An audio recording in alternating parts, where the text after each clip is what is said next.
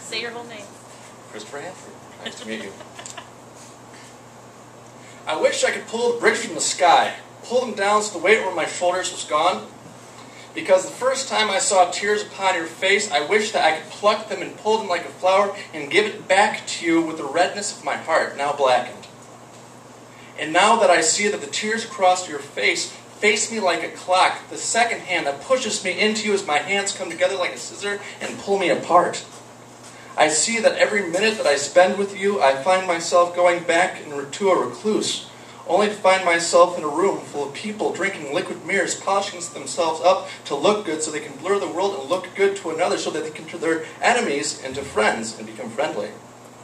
But meanwhile, I find myself locked up in a room, crying my heart out to a porcelain goddess, goddess, getting rid of my own conscience while playing Russian roulette because no matter how many rounds and how many shots go into my head, I never seem to die, only to wake up to find myself in front of a mirror, asking myself, did I win or did I lose as I black out again?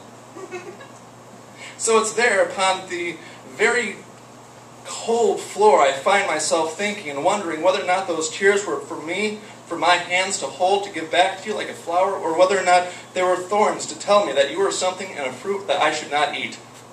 So it's there upon this cold, sickened floor that I look up at the sky and I see the bricks pulling from weight down to the ground so that I no longer have to hold the barrier between myself and the world.